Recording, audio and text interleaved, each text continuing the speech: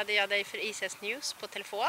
Ja, det stämmer. Ja, och då pratade du lite grann om dina planer för SM. Ja, Och om jag kommer ihåg rätt så var det att du skulle ha kul, ja det är viktigt. ja, hålla hästen, att han skulle vara med på resan och ha kul. Ja, det stämmer. Det är Ja, viktigt. och att ni hade lite, lite planer att kanske komma med i landslaget fast Ja, men tänk- jag har räknat med att komma till eh, VM det här året för jag har haft han så kort tid och jag vill inte liksom skynda på nej. och vänta till han känns liksom klar. Ja, men hur tycker du annars? Visst har du uppnått dina mål? Ja, jag har uppnått mer än mina mål den här säsongen. Det har gått fruktansvärt bra. Det är ju så fantastiskt, det är nästan inte som man fattar hur bra det har gått.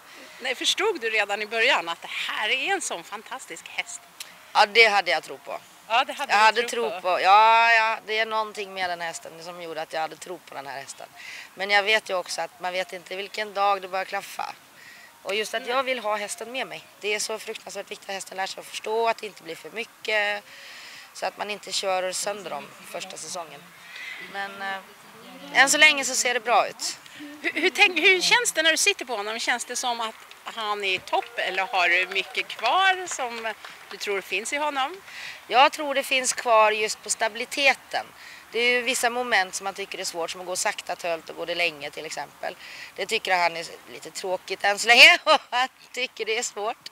Eh, Den ökade tölten vet jag han kan bli starkare i så att han kan liksom kanske gå lite snabbare men den är väl den han kanske är bäst på. Eh, Ja, allmänt att han blir stabilare. Ja. Det, det är det jag vet, det finns mer att hämta. ja. Hur, hur gammal är han? Han är åtta år i år. Åtta och är han bebis? Ja, han är fortfarande ung och han har inte tävlat mer än ett par gånger på Island. Nej. Så att han har ingen erfarenhet. Han har aldrig tidigare tävlat T1. Så Nej. det var han tvungen att lära och det tyckte han var svårt. Han tyckte jag kunde bestämma om jag skulle rida fort eller sakta när det gällde tempoväxlingar och sånt. Ja, Så, än så länge så ligger, visar han ju ändå att han klarar det hur bra som helst. Ja, och det är just det. man- Jag måste få dem att förstå det utan att man blir brysk eller arg eller sur och grinig. Man får ta den tiden det tar. Plötsligt en dag så, för, ah nu förstår jag. Just det. Hur, hur gör du för att få honom att förstå? Har du någon speciell träningsstrategi? Min strategi är att försöka genom beröm få fram det jag önskar att få.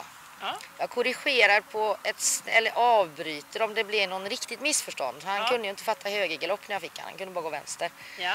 Och det blev bara ökat tölt när vi försökte. Och då tänkte jag, nej nu får vi försöka ta en paus och så provar vi igen och så gör vi det från trav och så tar det lite lugnt. Och om han bjuder på det, om han förstår så får han klapp på halsen med en gång.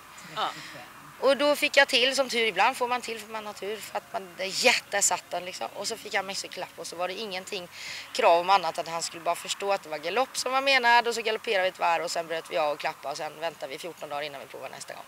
Så att man inte, ah nu ska vi träna på det och så nöter man och nöter man och nöter man och så blir det bara stress av det.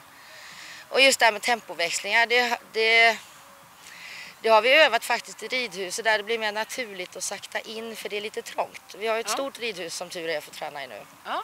som är 60 gånger 20 Ja.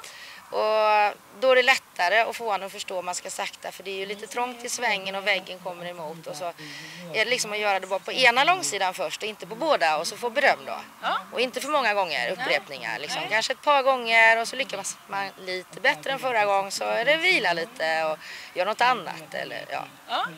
Har han några sådana speciella egenskaper som du tycker att han... eh, Han är väldigt, för honom? väldigt glad i mat. alltså Isis är allmänt är glad i mat, men alltså han är väldigt glad i mat. Och Gummi som sålde han till Eva då så sa han att om du stappar ett sto och mat i hans box så väljer jag maten.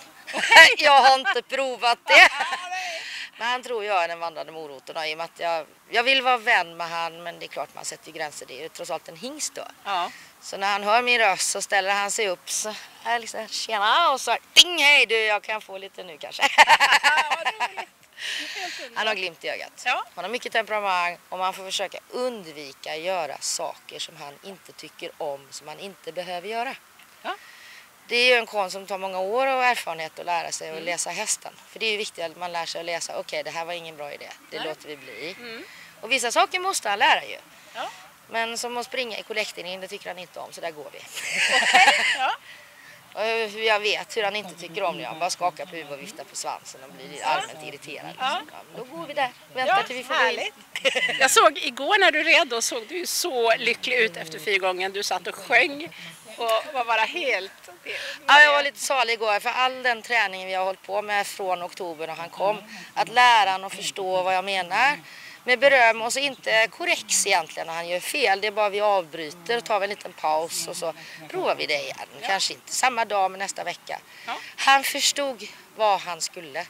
Så jag blev nästan lite rörd över sättet han betedde sig. Ja. Och det gjorde mig så himla glad. Det var liksom, jag tänkte inte på resultatet just då. Jag tänkte bara, ja jag har fått till att få honom att förstå. Han tycker det är roligt också. Underbart!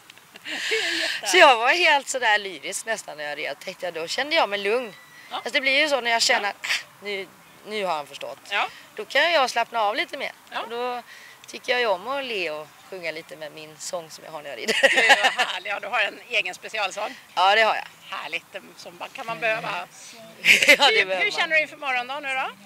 Alltså nu måste jag, för min egen del så måste jag liksom hålla nere lite. Inte liksom, nu ska vi ta dem den där varje. Nej, nu ska vi göra det bästa vi kan i förhållande till vad vi har tränat hittills. Ja.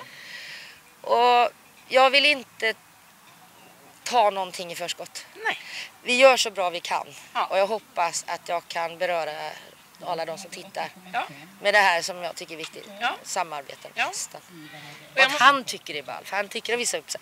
Ja, för det såg verkligen ut. Jag tänkte så på det igår, det här du sa Ja. under förra intervjun, att han ska ha kul. Och det såg ut Ja. som han hade kul. Det får, då får han det där extra lilla Ja. glimt i ögat. Härligt. Så Men du, då önskar vi hoppas att vi kan klara att få medalj i alla fall, så får vi se. Ja, det är klart. Vi ska hålla tummarna på ishästljus Ja, tack så mycket. och önskar dig lycka till.